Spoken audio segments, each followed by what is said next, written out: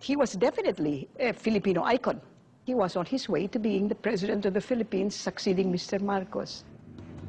Like Marcos, Ninoy was brilliant, shrewd, articulate, and disarming.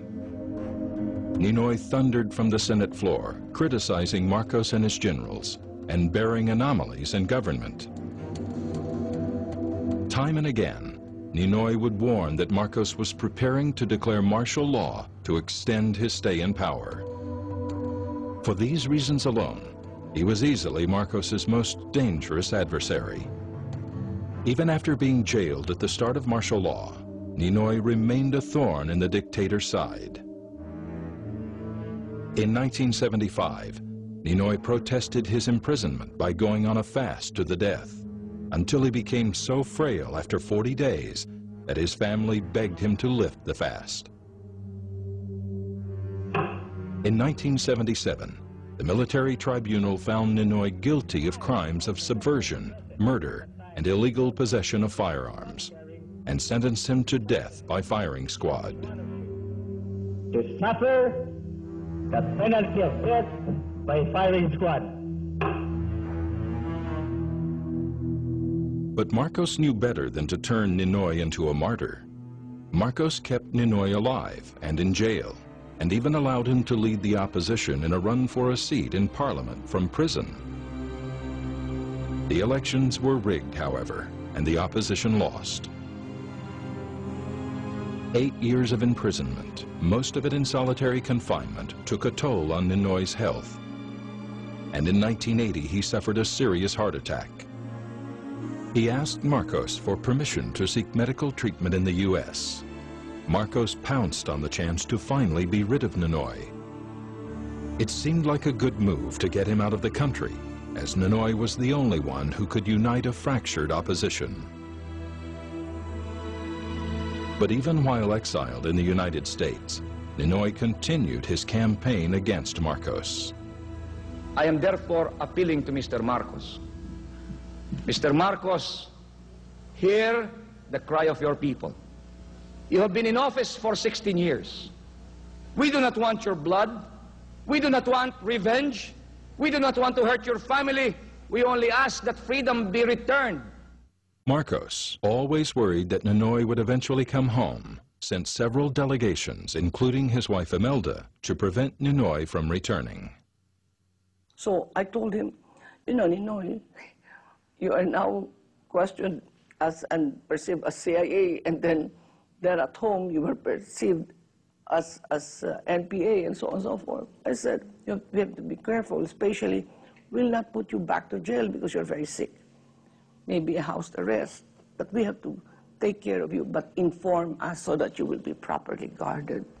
I want to prove to Mr. Marcos that not only comfort and material things are the demands of the flesh, that there is an indomitable spirit that will be willing to take any sacrifices for our people. I shall therefore go back to the Philippines. We were all expecting somebody's going to come and lead us out like Moses out of the, uh, you know, out towards the promised land, out of Egypt. It was beautiful.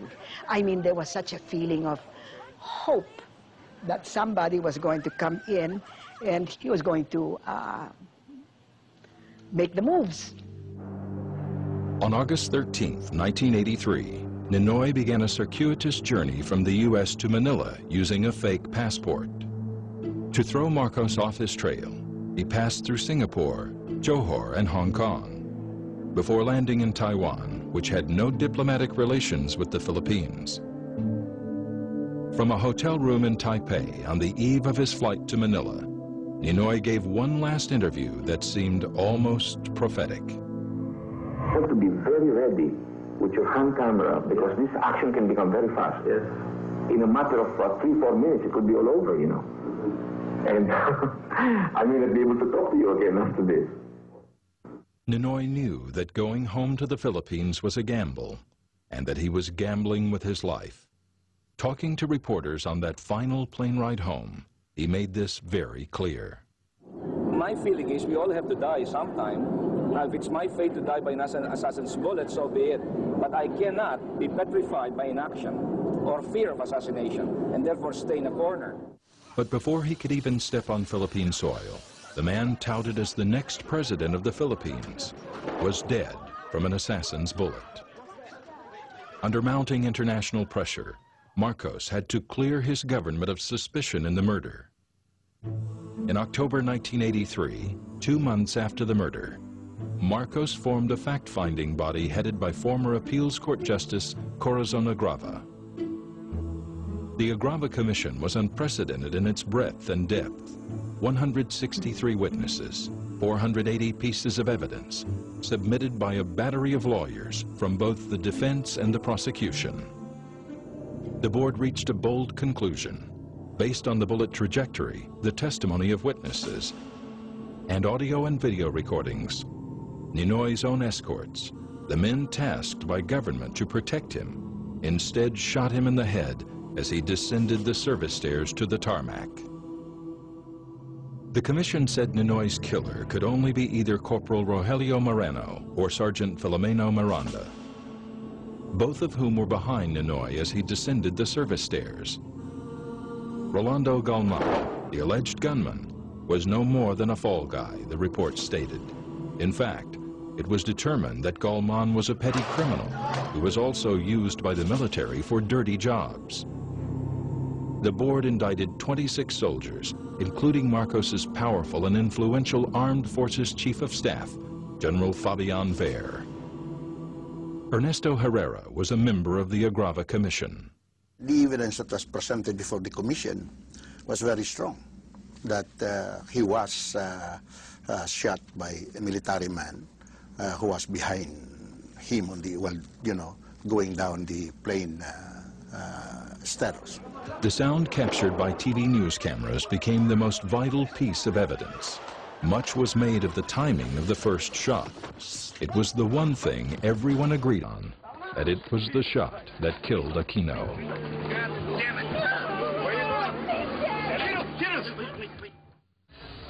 The recording showed that 11 seconds elapsed from the moment Ninoy stepped out to the staircase to the sound of the first shot.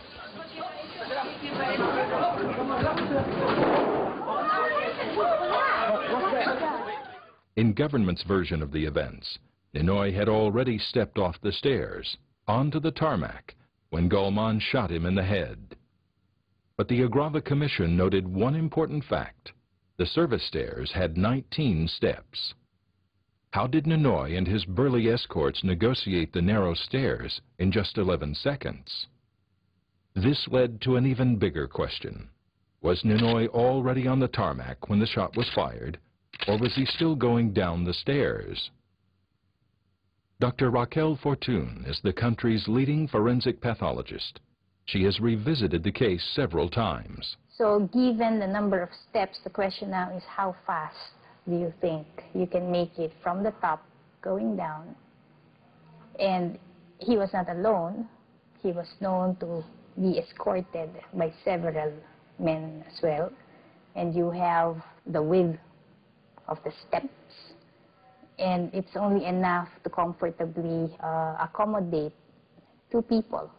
I think in all likelihood, Senator Aquino was not yet on the tarmac but still somewhere going down. Even more conclusive than the timing of the fatal shot were the voices coming from the stairs.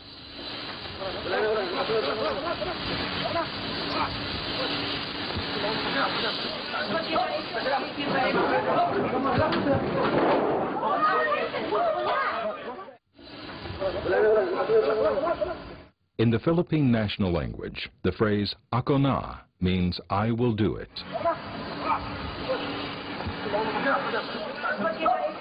And pusila, in a southern Philippine dialect, is an order to shoot.